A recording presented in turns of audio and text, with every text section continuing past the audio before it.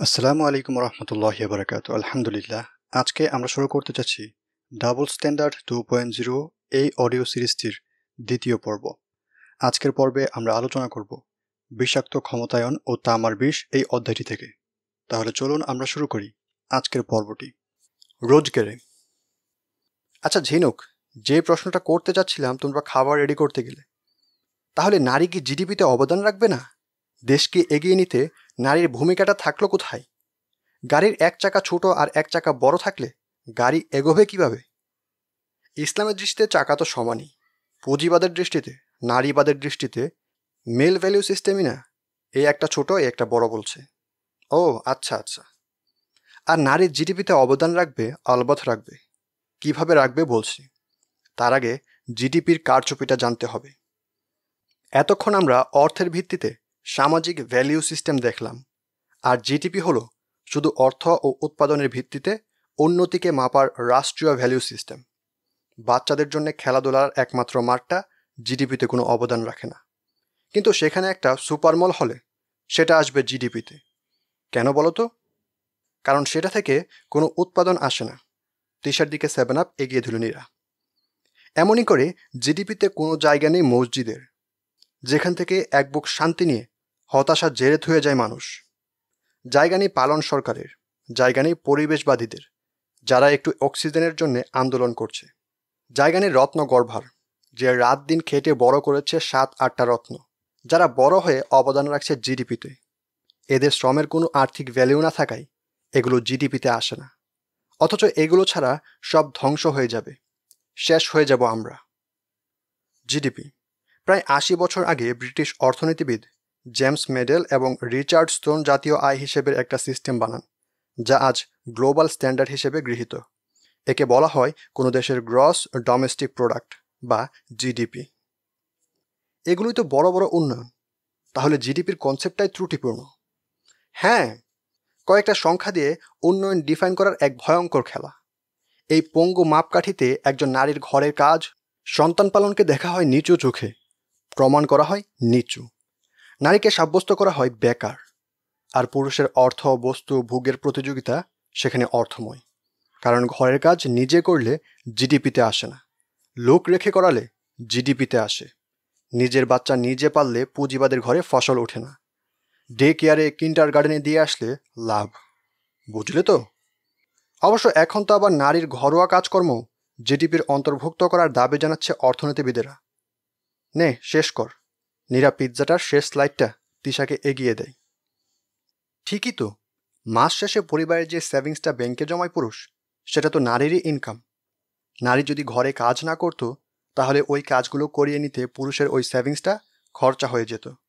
সুতরাং ওই সেভিংসটাই নারীর উৎপাদন। আত্মবিশ্বাসের সাথে বলে তিশা। ইনফ্যাক্ট আরও বেশি, নারীর ঘরের কাজকে টাকায় পরিণত করলে তা পুরুষের ইনকামের দুই তিন গুণ বেশি হবে। গবেষণা এসেছে নন এসএনএ বা সিস্টেম অফ ন্যাশনাল অ্যাকাউন্ট কাজে নারীদের কাজের চাপ ও সময় পুরুষের চেয়ে তিন গুণ বেশি। Women's unaccounted work and contribution to economic নামে স্টাডিতে পাওয়া গেছে। যদি নারীর এই ঘরের কাজকে টাকায় পরিণত করা হয়, তাহলে তা দাঁড়াবে জিডিপির seventy six point eight percent থেকে eighty seven point two percent বেতনভুক্ত আয়ের চেয়েও তা দুই দশমিক পাঁচ থেকে দুই দশমিক নয় গুণ বেশি। তাহলে খেয়াল করে দেখো নারী কিন্তু ঘরে জাতির অগ্রগতিতে ভূমিকা রেখেই চলেছে। তুমি হিসেবে আনছো না, সেটা তোমার হিসেবের দোষ। এখন দাবি করা হচ্ছে যেন কাউন্ট করা হয়। তার মানে ভূমিকা ছিলই। কাউন্ট হয়নি এতদিন। চাকা কিন্তু দুটো সমানই। দেখতে পাইনি এতদিন। দেখার ভুল ছিল। সন্দেহের কফিনে শেষ প্যার একটা ঠুকে দেয় নীরা। ডেফিনেটলি ঝিনুক টিস্যু এগিয়ে দেয়। তাহলে তোরা কি পাশ করার পর চাকরি করবি না? ইসলাম কি মেয়েদের রোজগার একেবারেই নিষেধ করে?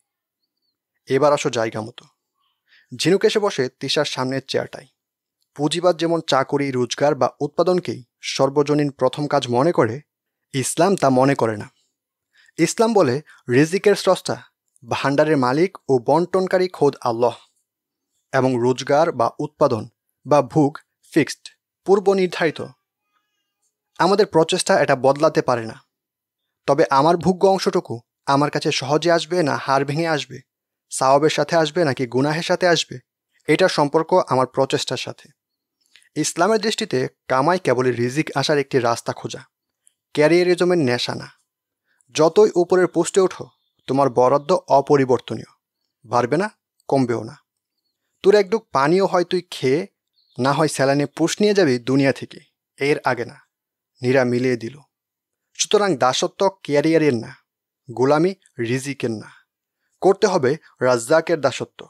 রিজিকদাতা তাহলে সহজে, কম কষ্টে আমার রিজিকটুকু আমার কাছে পৌঁছিয়ে দেবেন। আর আগে তো বললামই, মর্যাদার সাথে কামাইয়ের কোনো সম্পর্ক নেই। এটা পুঁজিবাদের স্ট্যান্ডার্ড। তোমাদের মধ্যে সেই ব্যক্তি আল্লাহর কাছে অধিক মর্যাদা পান যে অধিক মুত্তাকি বা আল্লাহ বিরু। সুরা হুজরাত, আয়াত তেরো। আর ইসলামের স্ট্যান্ডার্ড হলো রোজগার পুরুষের দায়িত্ব এবং পুরুষের জন্য ফরজ। রসল্লাহ সাল্লাহ সাল্লাম বলেন জীবিকা অনুসন্ধান প্রত্যেক মুসলমানের জন্য ফরজ। আল ফিরদাউস হাদিস নাম্বার তিন হাজার নয়শো আঠারো। দাইলামি একজন বর্ণনাকারী দুর্বল। অপর এক বর্ণনায় নবীজি বলেন, ফরজ সালাতের পর জীবিকা অনুসন্ধান হল, ফরজের পর ফরজ। তাবারানি বাইহাকি সূত্রে আল কাসব ইমাম মোহাম্মদ রহিমুল্লাহ, অনুবাদ জীবিকার খুঁজে, মাক্তাবাতুল বয়ান। ইমাম মোহাম্মদ আর আশাইবানী রহিমুল্লাহ বলেন, জ্ঞানান্বেষণ যেভাবে ফরজ, জীবিকা অন্বেষণও সকল মুসলিমের জন্য সেভাবে ফরজ। যেহেতু জীবিকা উপার্জন ছাড়া ফরজ দায়িত্ব পালন করা যায় না, সেহেতু জীবিকা উপার্জন করা ফরজ। ঠিক যেভাবে সালাত আদায়ের জন্য পবিত্রতা অর্জন ফরজ। জীবিকার খোঁজে ইমাম মোহাম্মদ রহিমুল্লাহ, মাক্তাবাতুল বায়ান, পৃষ্ঠা চব্বিশ। নিষ্কর্মা ঘরে বসে থাকা পুরুষের জন্য না জায়েজ আর নারীর জন্য জেনারেল রুল হলো, নারী ঘরে থাকবে। প্রয়োজন না হলে বাইরে যাবে না এবং ঘরের দায়িত্বগুলো পালন করবে। নিজের গৃহের মধ্যে অবস্থান করো। এবং পূর্বের জাহিলি যুগের মতো সাজসজ্জা দেখিয়ে বেরিও না। নামাজ কায়েম করো জাকাত দেও এবং আল্লাহ ও তার রাসুলের আনুগত্য করো। আল্লাহ তো চান তোমাদের নবী পরিবার থেকে ময়লা দূর করতে এবং তোমাদের পুরোপুরি পাক পবিত্র করে দিতে। সোরা আহজাব, আয়াত তেত্রিশ। ইবনু হাজার আসকালানি রহিমহল্লা বলেন, এটি প্রকৃত ও মৌলিক আদেশ। আল্লামা শাওকানি রহিমহল্লা বলেন, এর অর্থ এই যে, আল্লাহ মেয়েদেরকে ঘরের মধ্যে বসবাস ও অবস্থান করতে আদেশ করেছেন। এটা হলো জেনারেল রুলস। নারী পুরুষের দায়িত্ব ভিন্ন ভিন্ন ও সমান গুরুত্বপূর্ণ, পরিপূরক। একটা ছাড়া আরেকটা অসম্পূর্ণ এবং এই আলাদা আলাদা দায়িত্ব পালন করা যার যার উপর ওয়াজিব। ক্যারিয়ারের জন্য সন্তানের স্বাস্থ্য, দীক্ষা, মানস গঠন, বিসর্জন দেওয়ার কোনো সুযোগ নেই ইসলামে, একজন নারীর ক্ষেত্রে। আয়নায় নিজেকে দেখে খুশি হওয়ার জন্য পরিবারের দায়িত্ব আধা খোঁচা করে নিলাম। এই কম্প্রোমাইজের বৈধতা ইসলাম দেয় না। ইসলাম বলে চাকা দুটোই সমান। তোমার চাকা ছেড়ে বাইরে এসে তোমার চাকাটাই তুমি ছোট করে ফেললে। এখন এরও ব্যত্যয় আছে।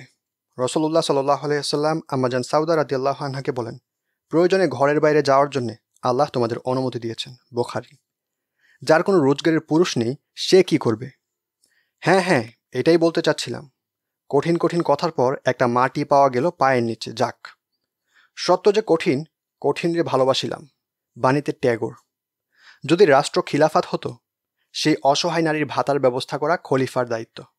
কিন্তু বর্তমান প্রেক্ষাপটে ইসলামী রাষ্ট্র ব্যবস্থায় খলিফা অসহায় মুসলিমদের দেখভালের দায়িত্ব পালন করে থাকেন।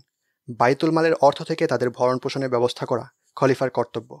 বিস্তারিত দেখুন আল মাউসুয়াতুল ফিখিয়া অষ্টম খণ্ড তেরো নম্বর পৃষ্ঠা। বাইতুল মাল দ্রষ্টব্য, রদ্দুল মুখতার পঞ্চম খণ্ড চারশো তেরো পৃষ্ঠা। হ্যাঁ আর্নিং পুরুষও নেই, খলিফাও নেই। এখন তিসার কণ্ঠে জয়ের আমেজ। যে না খেয়ে মারা যাচ্ছে, আশেপাশে শুকর ছাড়া কিছুই নেই। তার জন্য জীবন ধারণ পরিমাণ এবং অন্য খাবার না পাওয়া পর্যন্ত শুকর খাওয়ারই অনুমতি আছে।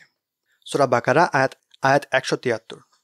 সুতরাং বোঝাই যাচ্ছে নিরুপায়ের জন্যে তাও জায়েজ, যা অন্যের জন্যে না জায়েজ। এখন তুমি কতটুকু নিরুপায়, সেটা তো আল্লাহই জানেন। এখানে তো আর ফাঁকি ঝুঁকি চলছে না। কিন্তু কতজন নারী নিরুপায় হয়ে ইনকামে আসে? অধিকাংশই আসে জীবনমান উন্নত করতে আর মর্যাদার জন্যে। নিরাটা বাগড়া দিয়ে দিল। ঠিক বলেছিস নীরা। ইসলামের কিছু বেসিক নীতিমালা আছে, যেগুলো পূরণ করে নারীকে কামাইয়ের অনুমতিও দেয়া আছে। তবে সেটা বিশেষ প্রয়োজনে জীবিকার খাতিরে কামাই, বিলাসিতা বা মর্যাদার জন্য কামাই না। রোজগার করতে পারবে, কিন্তু এই বেসিক নীতিমালা ভাঙা যাবে না। কামাই না করার জন্যে আল্লাহ নারীকে ধরবেন না, ধরবেন পুরুষকে। তবে নারীকে আবার ধরবেন, এই কয়েকটা বেসিক ইস্যুতে। কেমন সেটা? এক, দাম্পত্য বেসিক। স্বামীর অনুমতি লাগবে। মাস্টারের মতো দেখাচ্ছে ঝিনুককে। পরিবার একটা ইনস্টিটিউশন, এখানে অ্যাডমিন লাগবে। অ্যাডমিন ছাড়া একটা স্ট্রাকচার চলবে না। একটা অফিস চলে না, স্কুল চলে না, দোকান চলে না। এটার চেয়েও সরল কথা আর কিছুই নেই।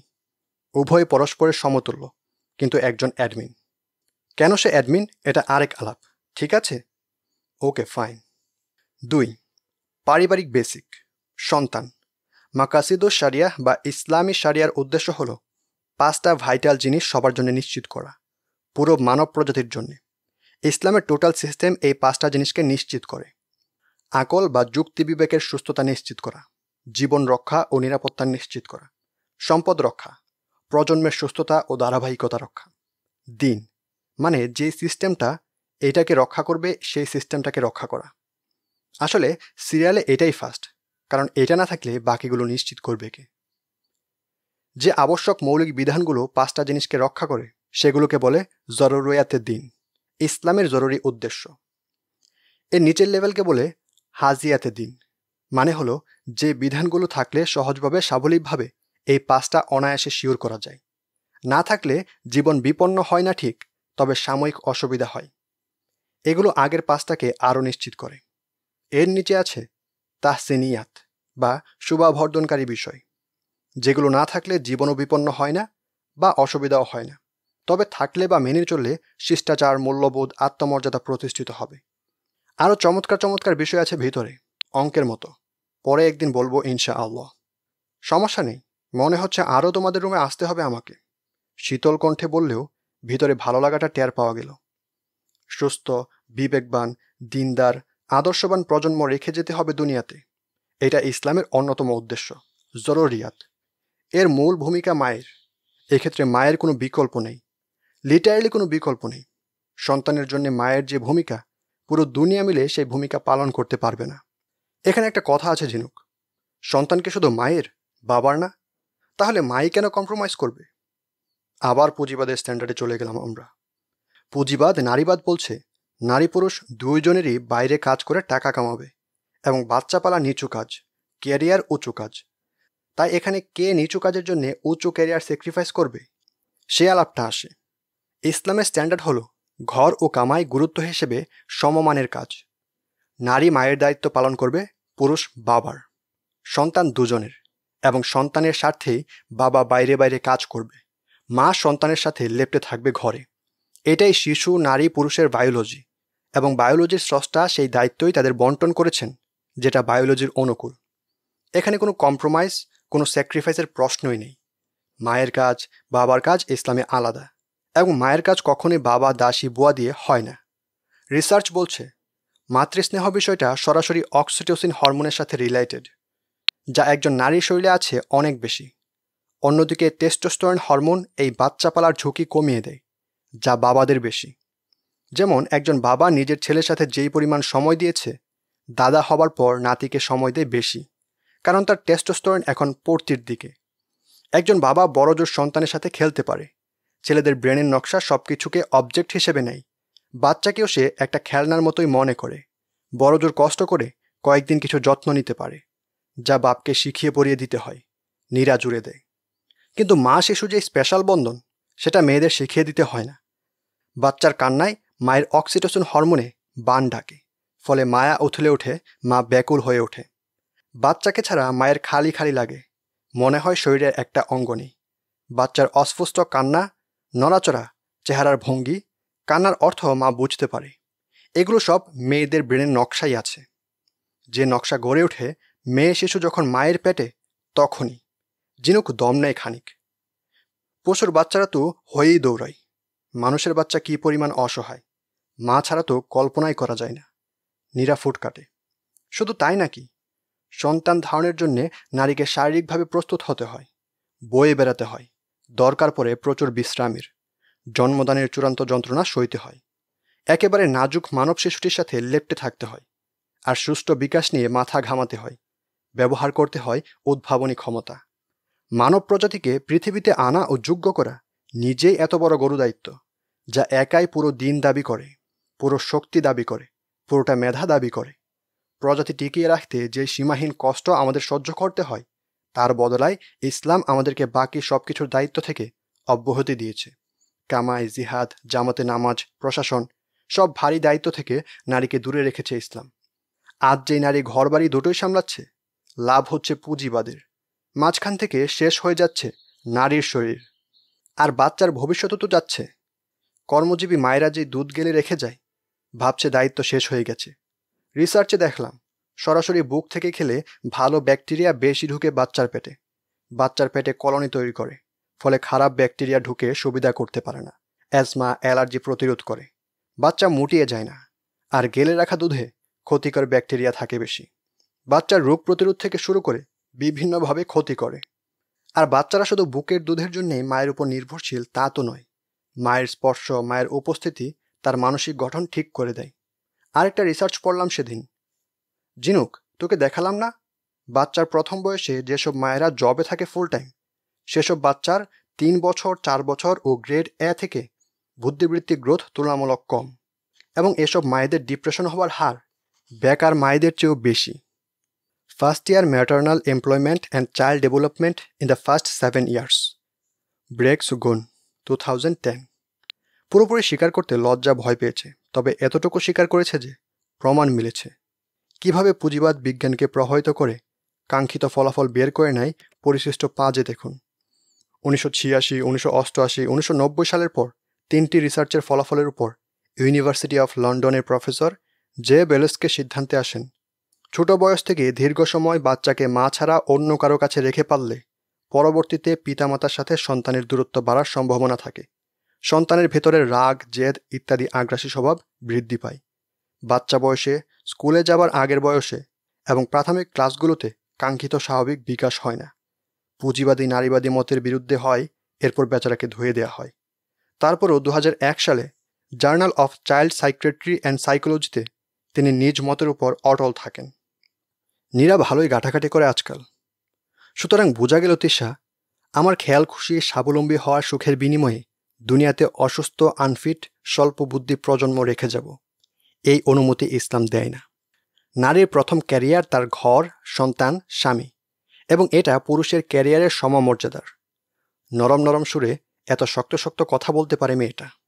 আরেকটা যে বেসিক নীতির কথা বলেছিলাম, সেটা হলো সামাজিক বেসিক পর্দা।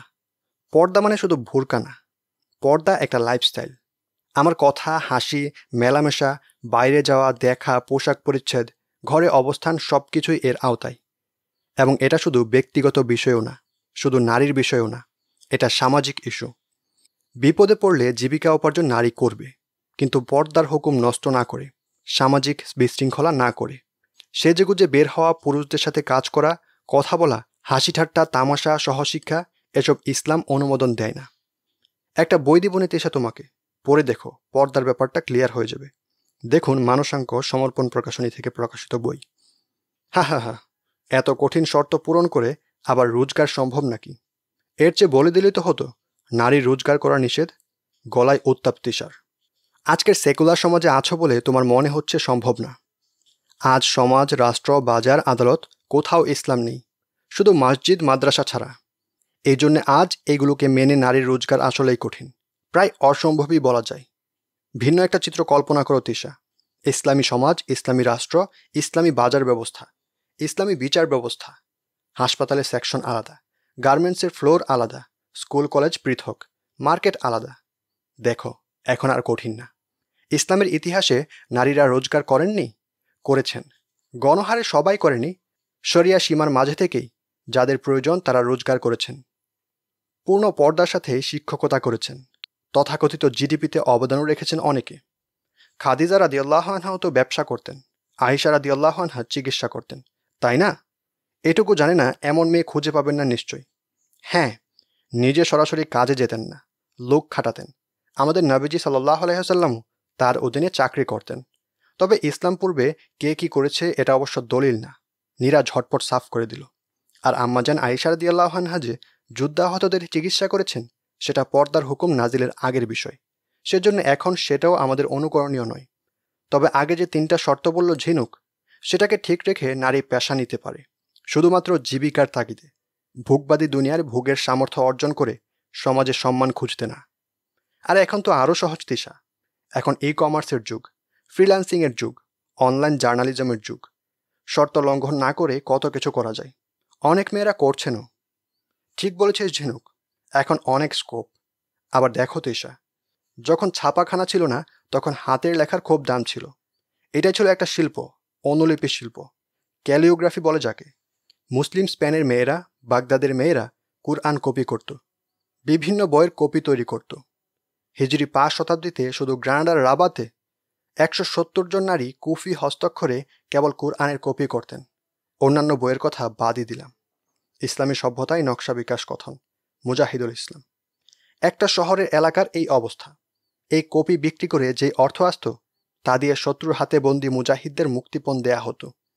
তাহলে সোকল জিডিপিতেও অবদান নারী রেখেছে কিনা? হুম, আসলে কি জানো তিশা কেবলই যেটা বললাম। শিল্প বিপ্লবের আগে ছিল কুটির শিল্পের যুগ। পুঁজিবাদের উত্থানের আগে তো ঘরেই ছিল উৎপাদনের উৎস। তখন সারা দুনিয়ার মেয়েরাই ঘরে কাজ করে জিডিপিতে অবদান রাখত।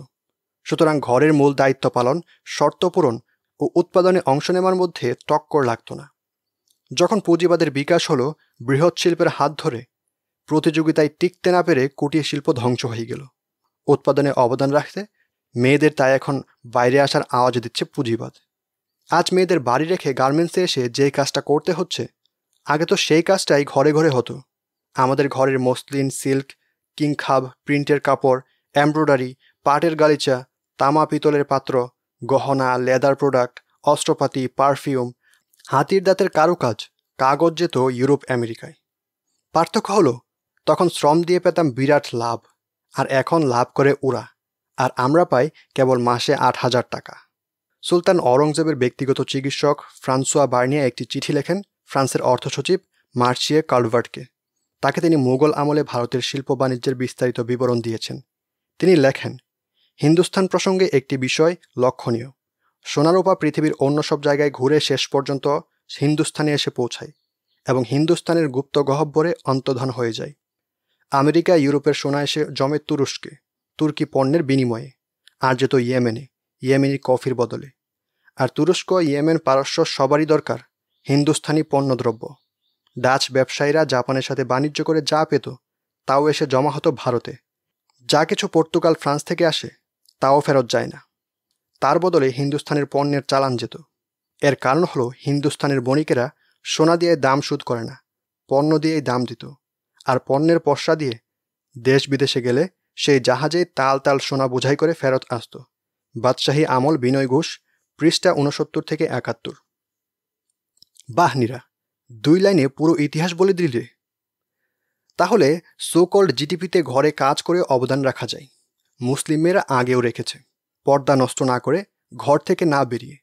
ঘরের দায়িত্ব কাটছাট না করেই করেছে, তবে গণ হারে না। রোজগার তাদের ক্ষমতায়নের মাপকাঠিও না। মনে আছে তো? মাথা নাড়ি তিসা মগজের ওপর খুব ধকল যাচ্ছে আজ। এমন এমন সব কথা। জীবনে প্রথম শুনেছি, কি অবস্থা মুসলিমের সন্তানদের? ইসলাম মানে যে এত কিছু, ইসলাম যে এতটা সুন্দর আজ তেইশ বছর পর এসে কেন জানতে হচ্ছে? কার দোষ? বাবা মা কারিকুলাম নাকি সমাজ?